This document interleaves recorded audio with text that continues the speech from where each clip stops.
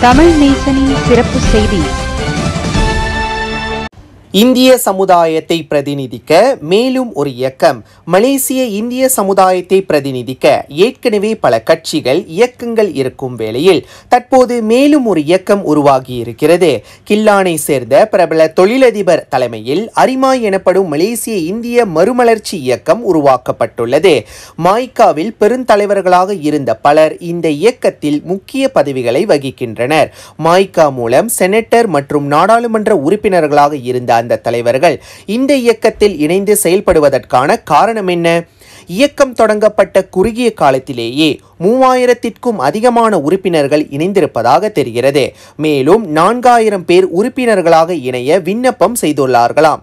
இந்திய சமுதாயத்தினர் மத்தியில் மாபெரும் சக்தியாக உருவெடுத்து வரும் இந்த இயக்கத்தின் நோக்கம் என்ன? அரசியல் ரீதியில் எந்த தரப்புடன் இணைந்து செயல்பட திட்டம் கொண்டுள்ளது?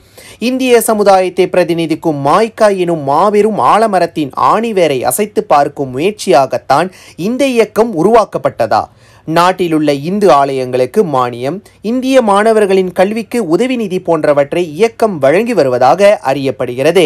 இதற்கிடையில் இந்த இயக்கத்தின் பின்புலமாக எதிர்க்கட்சி தலைவர் டத்தோஸ்ரீ அன்வார் இப்ராஹிம் இருப்பதாகவும் கூறப்படுவது குறிப்பிடத்தக்கது. லைக் பண்ணுங்க. சப்ஸ்கிரைப் பண்ணுங்க. சப்ஸ்கிரைபர் பெல் பிரஸ் பண்ணுங்க. ஆறு லட்சத்து அறுபத்தி ஏழாயிரம் வெள்ளி பெருமானம் உள்ள போதைப் பொருள்கள் பறிமுதல். கில்லான் பள்ளத்தாக்கு வட்டாரங்களில் கடந்த மூன்று மாதமாக போதைப் பொருள்களை விநியோகம் செய்து வந்த கும்பலை போலீசார் கைது செய்தனர்.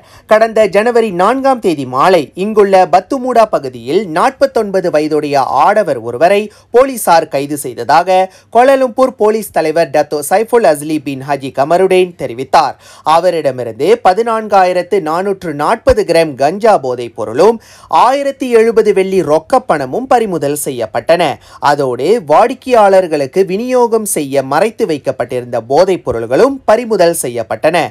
இதன் தொடர்பில் ஐந்தாம் தேதி இரவு டேசாப்பத்தலிங் வட்டாரத்தில் ஒரு ஆடவர் கைது செய்யப்பட்டார். அவரிடமிருந்து போதைப் பொருள்கள் உட்பட விலை உயர்ந்த கார்களும் பறிமுதல் செய்யப்பட்டன. கைது செய்யப்பட்ட இருவரும் மேல் விசாரணைக்காக ஆறு நாள்களுக்கு தடுத்து வைக்கப்பட்டுள்ளனர். இவர்களிடமிருந்து பறிமுதல் செய்யப்பட்ட போதைப் பொருள்களை இருநூற்று அறுபத்தைந்தாயிரத்து அறுநூற்று ஐம்பத்தி நான்கு பேருக்கு விநியோகிக்கலாம். அதோடு பறிமுதல் செய்யப்பட்ட போதைப் பொருள்களின் மொத்த மதிப்பு ஆறு லட்சத்து அறுபத்தி ஏழாயிரம் வெள்ளியாகும். ரொக்க பணம் ஆயிரத்தி எழுபது வெள்ளி பறிமுதல் செய்யப்பட்ட கார்களின் மதிப்பு ஐந்து லட்சம் வெள்ளியாகும் என்று டத்தோ சைஃபுல் அஸ்லி கூறினார்.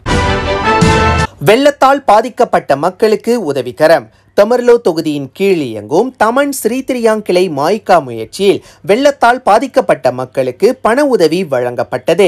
தமர்லோ மெந்தகாப் ஆகிய பகுதிகளில் வெள்ளத்தால் மோசமான பாதிப்பினை எதிர்நோக்கி இருக்கும் மக்களுக்கு உதவுவதற்காக இருபதாயிரம் வெள்ளி நிதி திரட்டப்பட்டதாக தமன் ஸ்ரீதிரியாங் கிளை மாய்கா துணைத் தலைவர் டாத்தோ ஸ்ரீ விஜேந்திரன் குப்பசாமி தெரிவித்தார்.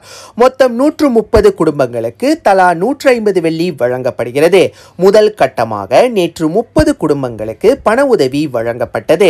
நீர்மட்டம் குறைந்த பின்னர் வசதி குறைந்த குடும்பங்களை அடையாளம் கண்டு அவர்களுக்கும் இந்த நிதி உதவி வழங்கப்படும். மேலும் நேற்று தங்கள் குழுவினர் முயற்சியில் மாமன்னரை மெந்தகாப் தமிழ் பள்ளி மற்றும் புக்கெட் பெண்டேரா ஆகிய இடங்களுக்கு அழைத்துச் சென்றதாக அவர் சொன்னார். அங்குள்ள மக்களின் நிலையை நேரில் பார்த்த மாமன்னர் சுல்தான் அப்துல்லா ஹஜி அஹமத் ஷா அவர்களை நலம் விசாரித்ததுடன் நிதி உதவியும் வழங்கினார் என்று டத்தோ ஸ்ரீ விஜேந்திரன் கூறினார். நம்ம தமிழ் நேசன் டிவியில் லைக் பண்ணுங்க. சப்ஸ்கிரைப் பண்ணுங்க. சப்ஸ்கிரைபர் பெல் பிரஸ் பண்ணுங்க. இது ஒரு தமிழ் நேசன் டிவி தயாரிப்பு.